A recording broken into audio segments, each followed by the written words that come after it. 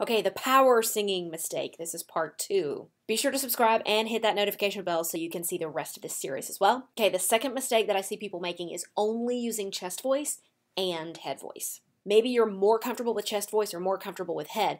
Or maybe you've heard about this mixed voice thing and you're like, yes, I need to try to blend chest voice and head voice together because you've been told that that's how mixed voice is created. And listen, I know that you have this goal of being able to just be completely secure in your voice and open up your mouth and have the easiest, powerful notes come out on autopilot. And because you have this goal, you listen when a lot of amazing vocal coaches and you know people on YouTube say that they'll show you how to do it and they'll sell you on the idea that blending chest voice and head voice combined with just keep practicing is the magic pill for creating your mixed voice. But it's just not how God designed your voice. Let me show you how this works. Okay, let's say let's say my friend Josie is working on these singing strategies right now because she's told that that's how you develop your mixed voice and sing with more power but she's not seeing any result and she's actually kind of at the end of her rope. um, she's at wit's end and wondering why her notes still are not powerful and reliable. So she's singing a song in chest voice, right? Chest voice resonates, um, you know, we feel it in the chest, but it resonates here in the actual mouth. So put your hand on your chest and do this with me, just, um, just like a low note. Uh, that's chest voice. And this register is only designed to cover the bottom third of your range. So Josie is singing in chest voice, right? She's like, Peace, bring it all to peace. The storm surrounding me, let it break at your name. It's very conversational because that's where she speaks from. And everything's going okay, but then it starts to get a little bit high. Jesus, Jesus, you make the darkness tremble. And there's this moment eventually where a decision has to be made. She could just push more chest voice.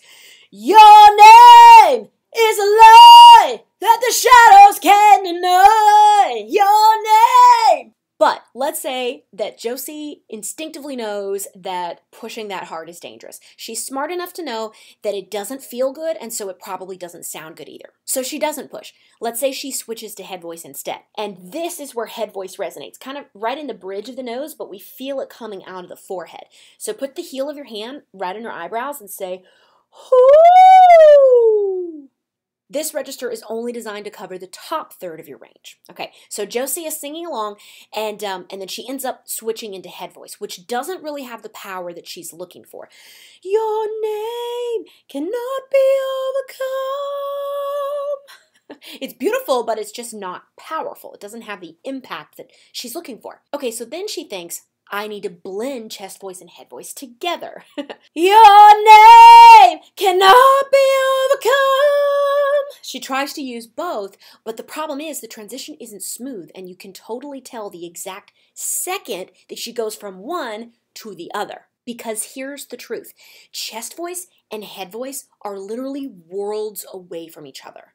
They are like the upstairs and the downstairs of your house, separated by a floor or a ceiling. And we're spending all this time and energy trying to get these high notes with the right amount of power and still not able to sing the songs that we really want to just at the drop of a hat. And it's so stressful. It makes everything so stressful. So instead, you have to find what I call the staircase that takes you from the downstairs to the upstairs. And this is a completely different cavity in the head. It's not chest voice and it's not head voice. This register called the pharyngeal voice is responsible for that one third of your voice right in the middle of chest and head. And yet, no one talks about it. It's so frustrating. I don't understand it. it kills me.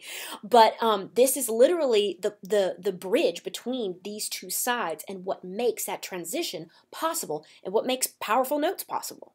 Try it. Take your finger, put it underneath your nose, and say, ha. This register is annoying on its own, but you're mainly going to use it to blend with one or both of the other two. And that is the true mixed voice.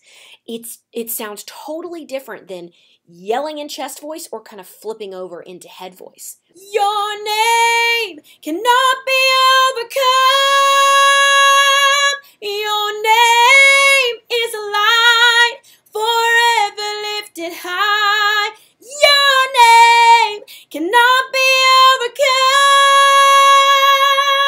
feels so much more comfortable and free, which I'm sure that you can tell. So, this is the true definition of mixed voice. It's actually three registers, not two.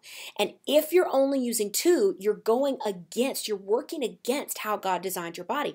And you're always going to be frustrated because God didn't design chest voice and head voice to meet in the middle. He created something totally new that acts as that bridging point between those two registers. And once you find that, all you have to do is turn it into muscle memory so it's available every single time. And next time you try to sing a powerful song, try to make it just a little whinier than you think you need to. Um, that'll really help you find extra power up in that kind of middle register. You've probably been thinking that it's your highest register, but it's actually your middle register. And if you want to hear more about how to sing with power that doesn't hurt your voice, you should watch my free masterclass for worship leaders. Click the link in the description below or in my bio, and I'll see you at the class. You can also find the links for part one on range and part three on confidence in the description box below.